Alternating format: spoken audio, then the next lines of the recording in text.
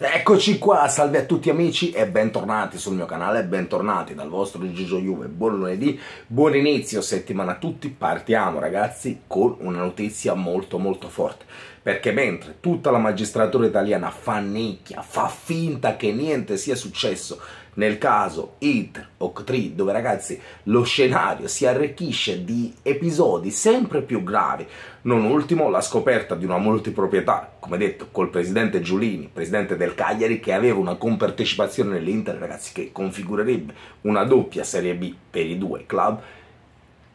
andando a finire nelle falsificazioni in bilancio con delle sponsorizzazioni fittizie, come abbiamo visto per la Pinetina, che diventa un caso incredibile, Naturalmente ragazzi la magistratura sia ordinaria sia sportiva con il buon Don Peppino Chinè fanno finta di niente, niente si muove, al momento tutto è bloccato, quindi aspettando che qualcuno parta, cerca di dargli un input, cerca di non dare tregua, cerca di tenere vivo il caso identità bianconera. Con un nuovo esposto, un nuovo esposto ai danni dell'Inter, di nuovo ragazzi identità bianconera, la fondazione di avvocati a difesa della Juventus parte all'attacco nei confronti dei prescritti cartonati, ne parliamo insieme in questo video, ma prima di tutto ragazzi un like a questo contenuto, l'iscrizione al canale perché è gratis ragazzi e a voi non costa nulla ma è importantissima l'iscrizione per aumentare il numero di visualizzazioni e quindi far sentire la nostra,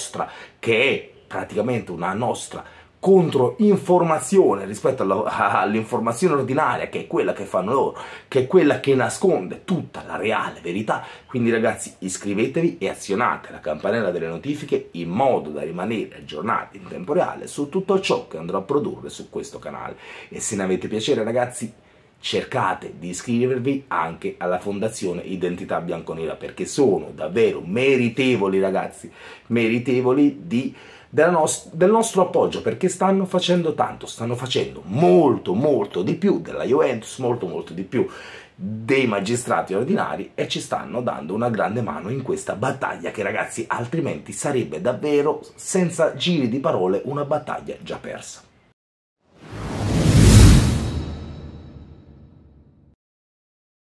Ma passiamo al contenuto del video e cerchiamo di capire che cosa Identità Bianconera va a chiedere di nuovo alle procure, va di nuovo a chiedere alle procure ordinarie, va di nuovo a chiedere a Covisoc, FIGC e quindi alla giustizia sportiva. Praticamente ragazzi chiede l'accesso agli atti in modo da conoscere i dettagli del passaggio tra l'Inter e Doc3. Perché ragazzi, questo passaggio che ha dei contorni sempre più oscuri è giusto, è giusto che appunto su questi passaggi venga fatta luce, vengano verificati tutti i dettagli, perché ragazzi andiamo per esempio solo a pensare al caso di Lion Rock, quanti punti oscuri ci sono in quella vicenda, quanto avete capito di praticamente un contenitore, o chiamatelo di più, col suo vero nome, una scatola cinese con praticamente sede alle Cayman, proprietaria appunto, di cui è proprietario la famiglia Zhang, che praticamente è però una scatola vuota perché negli ultimi giorni aveva trasferito la proprietà ad un'altra società, ragazzi, un casino mai visto, tra l'altro pagata 150 milioni dai Zhang e data impegno come fosse. Carta straccia, ragazzi, carta straccia, così come è stata data impegno l'Inter, perché ragazzi, tutti vogliono far passare questo passaggio come un semplice passaggio di proprietà, come una compravendita. Acquirente, venditore, scambio. E no, e no, è un pignoramento, è un'esecuzione forzosa dovuta al fatto che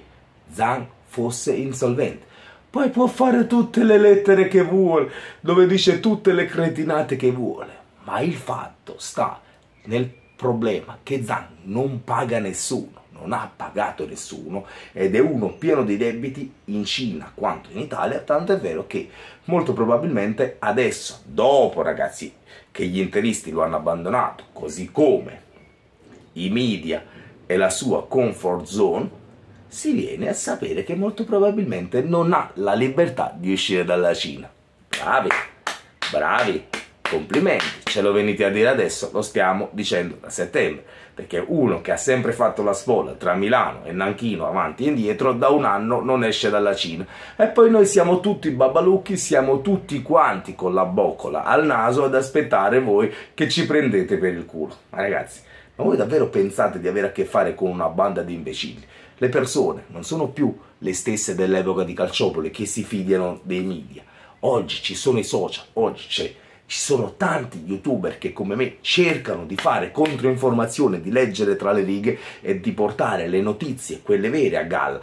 con l'aiuto di utenti come voi che siete qui a guardare questo video, che condividete questo video, che lo condividete con i vostri conoscenti, che parlate di questo al bar. Ragazzi, siamo in tanti adesso a conoscere la verità, siamo in tanti a diffondere quella che è la verità, non le cazzate dei media, le, le cretinate e ci vogliono far passare quelli di Octree con la bandiera dell'Inter in mano pronti a tifare la cartonense perché nel cuore avevano sempre avuto un cartone lì a Los Angeles, lì ad Octree in California. Ma non è così ragazzi, non è così. Octree ha preso l'Inter suo malgrado, Octree non aveva alcuna voglia di prendere l'Inter, Octree è stata costretta a prendere l'Inter dal fatto che Zang non avesse un euro e le soluzioni che andava a trovare. Erano soluzioni praticamente ridicole, soluzioni a cui nessuno avrebbe potuto prestare davvero attenzione perché poi nel momento in cui si andava a fare una due diligence, quindi a vedere cosa stava succedendo all'interno di questa società, si capiva tutto lo schifo. Ma soprattutto, ragazzi, soprattutto adesso che è stata approvata questa authority che va a guardare i conti, io spero che possa andare indietro. Spero che possa andare indietro nel tempo perché l'Inter è dal 2020, ve lo dico io, che è una società che non ha i requisiti per iscriversi al campionato. L'Inter dal 2020 sta barando, barando, mettendo sul piatto soldi che non esistono, mettendo sul piatto documenti che non esistono, mettendo a bilancio cose false, cose che non sono reali. E sono certo e convinto che se ci fosse stata una magistratura sportiva degna di questo nome, con gli attributi grossi così, con la voglia di andare a fare luce e chiarezza, l'Inter da, sarebbe stata cancellata dal campionato d'anni. Invece no, ragazzi, l'Inter fa mercato, l'Inter fa anche un mercato in cui con gli imbrogli del caso Mulattieri, Frattesi, le cazzate, Pinamonti avanti e indietro dal Genoa, poi al Sassuolo, con eh, ragazzi, ma voi, voi, ve le dimenticate le cose perché purtroppo tanti di voi hanno memoria corta, ma voi, voi, ve lo ricordate Casadei che volevano scambiare col Torino a, a 5 milioni per avere in cambio Bremer? una settimana dopo viene girato al Chelsea per 20 milioni per ottenere il prestito di Lukaku che il Chelsea non voleva assolutamente e Casadei colleziona 0-0-0 presenze nella sua prima stagione in Premier League il fenomeno Casadei Ragazzi, ne hanno combinate così talmente tante in questi 3-4 anni che davvero si fa una gran difficoltà a starci dietro e a ricordarle tutte. Ma noi siamo qua, siamo qua per condividere cose che rimangono poi indelebili sul web perché il web non dimentica, la nostra mente sì, ma il web registra e archivia tutto, quindi non dimentica. Quindi massima condivisione di questo video Ancora una volta vi chiedo un commento perché il vostro parere è come al solito fondamentale per sgominare questa banda di criminali che come la piovra attanaglia il calcio italiano e soprattutto ragazzi io vi ringrazio se siete arrivati fino a questo punto del contenuto e fino alla fine contro tutte e tutti, sempre e comunque. Forza Juventus, grazie, Fondazione Identità Bianconera ed Inter, sempre e comunque Inter, merda.